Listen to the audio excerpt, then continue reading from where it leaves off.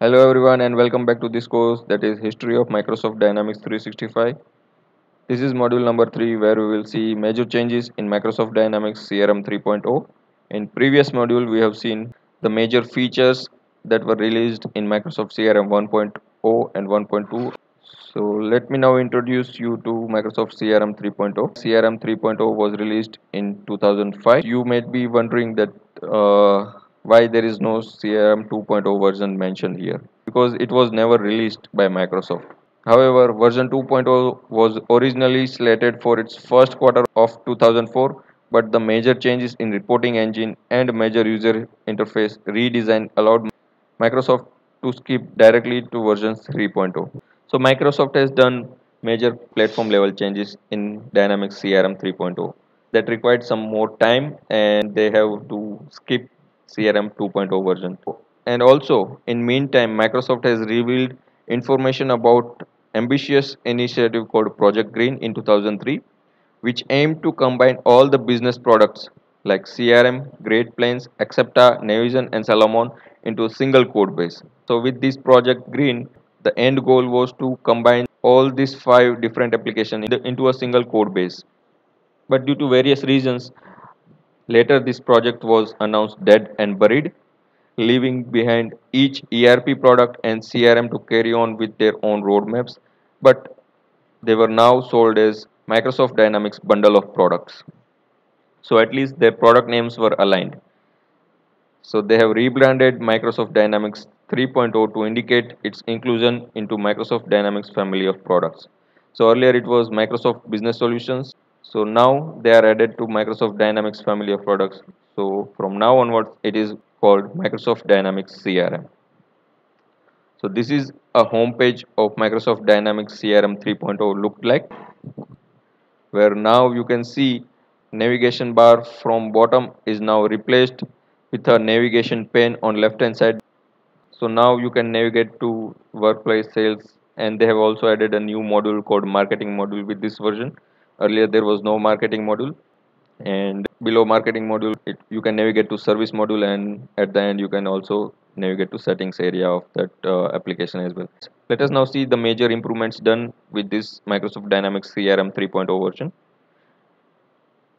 So to address the continued problematic setup with crm version 3.0 included a better version of environmental diagnostic wizard which did a pre-check of most of the required settings and systems alerting the user about the problems before the system continued. Now the setup issues were resolved. The user interface of CRM 3.0 version introduced a navigation paradigm that was largely carried onward till CRM 2011 version and most importantly with CRM 3.0 now it was possible to create brand new custom entities to expand the default data model to cover whatever the business domain that a customer was working so this was the true birth of XRM concept. Up until now, this product was mainly targeting the customer relationship management, but now now it was possible to create custom entities and you can support CRM product for any industry working in any domain. So not only that, Microsoft has done a database structural changes as well with this version. So Microsoft has changed the underlying table structure so that any customizable entity was split across two tables. So whenever you add an entity into CRM 3.0, it created two tables in their database. The first table was called base table that contained all the system attributes were available out of the box and from there onwards whenever you add a custom attribute to that entity that were stored in another separate table called extension base table to store all the custom attributes for that particular entity. So with CRM 3.0, uh, the database structure was changed. For every entity, there were two tables getting created in the database. First, to store all the system or the out-of-the-box attributes, and next, whatever the custom attributes that you will add to that entity will be stored in extension-based table.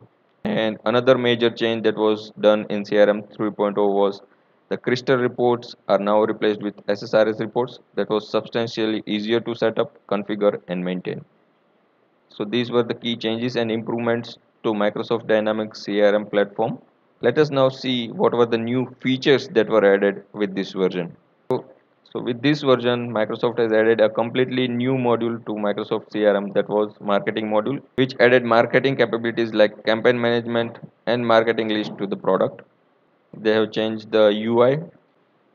They have also added a proprietary workflow system for automating the business processes. Now it was possible to implement custom business logic with the help of callouts that was replaced with plugins and event framework in later versions which is one of the most powerful feature till date.